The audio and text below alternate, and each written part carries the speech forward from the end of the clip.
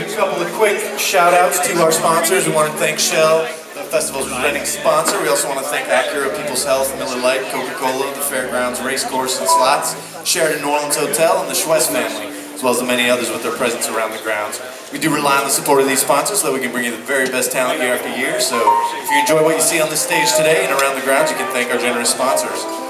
Want to let you know that we do have various t-shirt booths all over the uh, the festival grounds so you can get your souvenirs. We also want to thank Bayou Wear uh, Clothing for the 2011 limited edition silkscreen poster, which is a portrait of Jimmy Buffett by Garland Robinette. And this year's Congo Square poster by Kenneth Scott Jr. is a portrait of Fats Houston. Bayou Wear Clothing features the majestic Louisiana pelican. Posters and Bayou Wear are available in the large poster tent near the flagpole in the middle of the fairgrounds. So without further ado, I want to go ahead and turn it over to Mr. Dave Margulies and members of the Radiators. Give it up! Hey, y'all. What do you want to say, Dave? Long ago and far away, in a magical kingdom.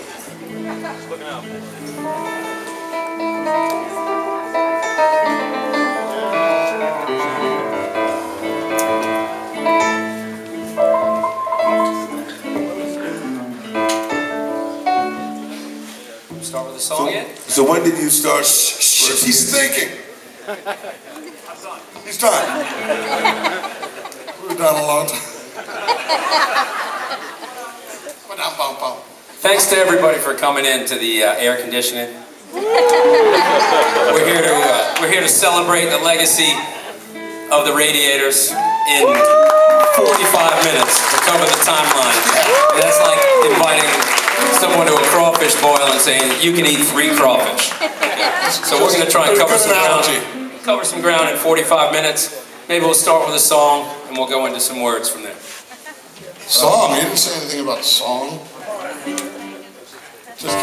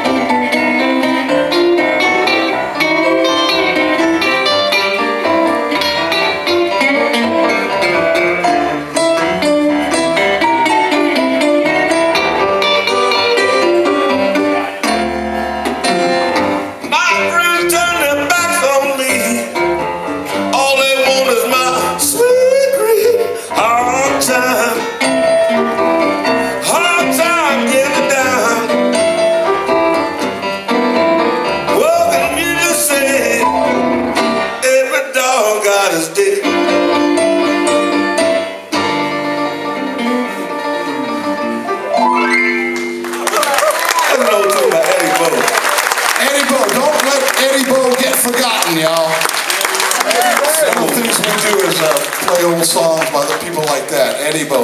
Not enough people know about him. Ed's a big fan of his. So you saw just right there, these guys, Ed started the, Ed started the riff. Immediately Dave and Reggie knew where they were going. It seemed like you guys have been tuned in like that ever since the beginning, when you first started playing. It's like five thumbs on it. I mean, five finger, wait, full finger, wait. Five thumbs on a hand, yeah. That sounds good. Is that a snack food? Uh, soon to be, probably.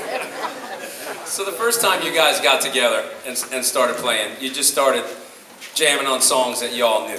Well, And Simple. Just, Yeah, yeah. stuff we could all just follow because we were we were just intending to get together and drink a lot of wine.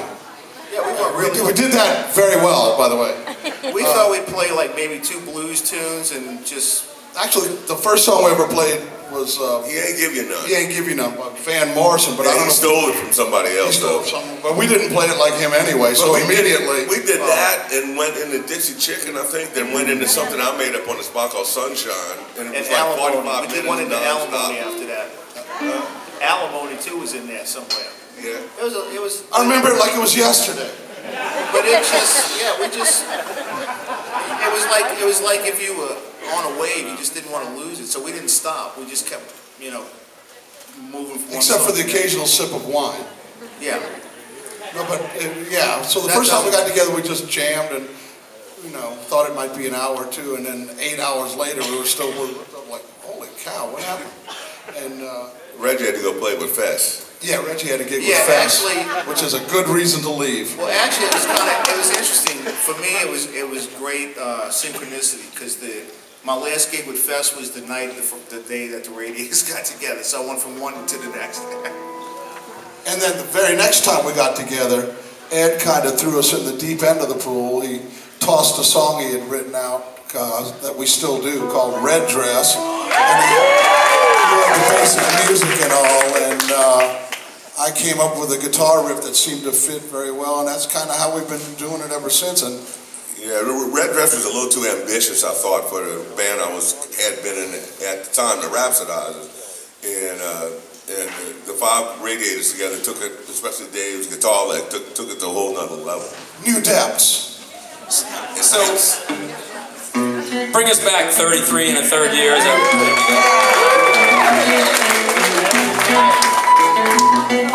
we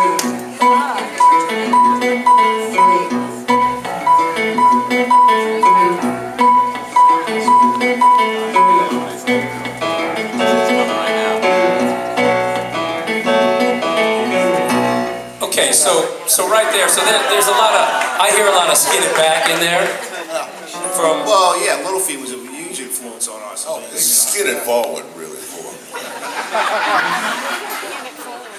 So when did you really know that these guys had the metal? I mean, was it after that first jam session that this was going to be? Well, we all were excited, but but uh, you know, uh, it- I, I did it like a, a protocol thing. You know, it's like okay, throw the throw the what I think is the most challenging song that I have at what you know the potential band. We we came up with flying colors. I called everybody to Rhapsodize and said, I'm, I'm quitting the band. And I called everybody to radio and said, I'm starting this band. And that's That's what Dave and really how I it did. happened. And Dave and I quit our band, and the next, you know, that was it. It Took us that afternoon to quit. It was that instant. Oh, yeah. You We just were knew. excited, man. Took a lot longer to come up with a name, I'll tell you that. How did the name come up? The same kind of way, we got together in Ed's garage with a bottle of wine and some other stuff, and just, Well, bottles of wine have figured prominently in our history. and.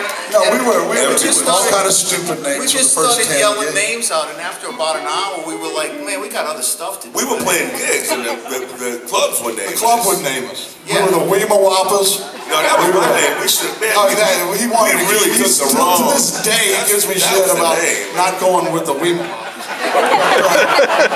We were damn neighborhood boys for a couple of gigs, and we just we just stopped on. It was like when the car runs out of gas and it stops. We just then we just got on the name. It's like you know what? We'll come back and get a better name later on. But right now we'll do this.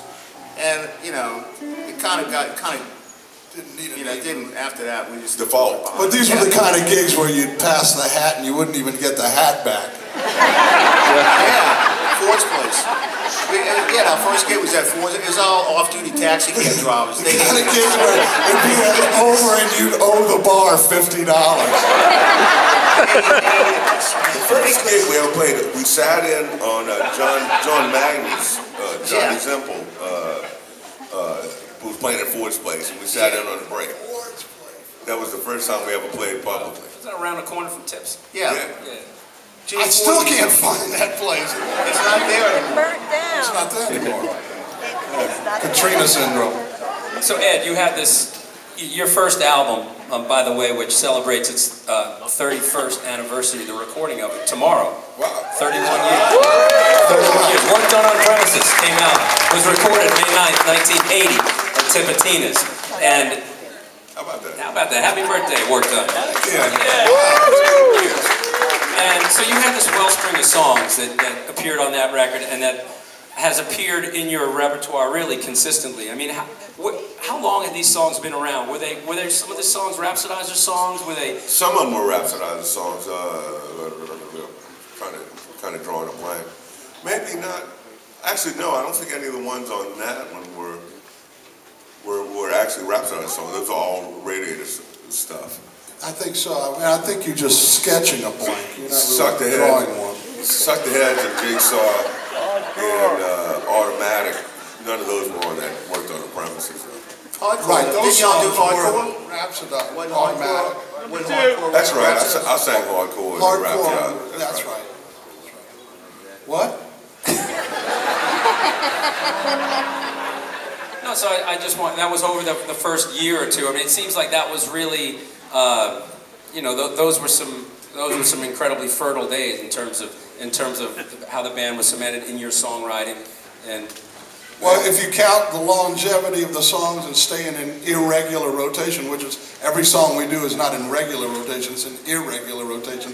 Because as anyone that has seen us for a three or four night run, we very rarely repeat a song four hour and a, two hour and a half sets per night gigs. You, there'll be no song repeats. But one of the things about those songs early on is that we were so excited to be in a band where we were actually doing original material and we could we could come up with our own parts because you know It was really it, a it was big deal. it was really I mean it just kept you juiced up. I mean you had to keep coming up with new ideas. You had to, you know, and it was all when it was done. It was like, God, this is as good as anything else that's out there. And So back then, he was really brilliant. If I only knew now what I knew back then. does anything come to mind, Reggie? Does a song stand out? That where, I mean, is it Low Life and the bass parts you brought to that, or Well, at, well, the one, well, one